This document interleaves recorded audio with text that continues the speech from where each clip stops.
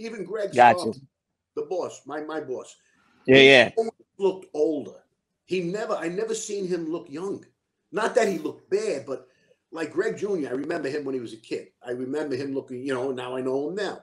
But Greg Right. always looked the same. When I saw pictures of him when he was 35, he had the mustache, the same receding hair, the same miserable look, you know, mean look.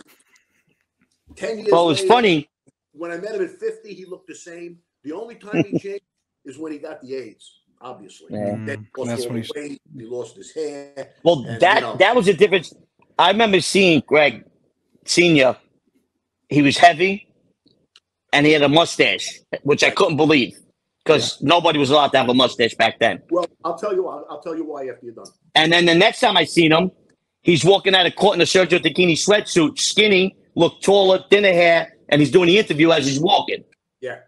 So that was the, the the before and after that I got to see. Well, the one time he had a mustache, and it seemed that became an infamous picture. So everybody thinks he always had a mustache. But him and two other guys, they're both gone now, so I can mention them. Joe Brewster and Bobby Zambotti went down to Florida with him. They had to clip somebody. So he said everybody grow a thick mustache. Because the first thing everybody's gonna say is the shooters had mustaches.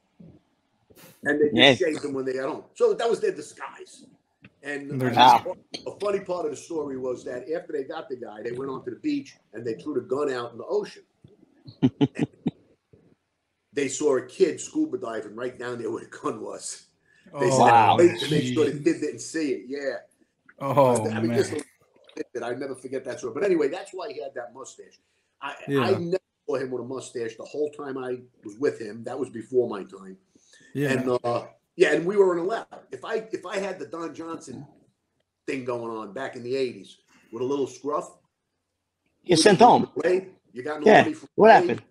Go home and shave. Hey, thanks for watching this clip. This clip came from one of my interviews I did in the past. Please hit subscribe if you want to get more clips like this. Also, if you want to watch the full interview, I'll put a link in the description. Or you can hit the button on the screen to watch the full interview.